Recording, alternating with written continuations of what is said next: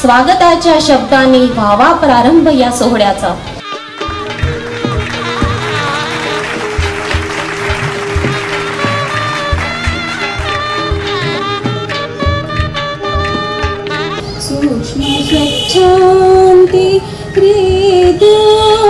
शुक परी दिलसन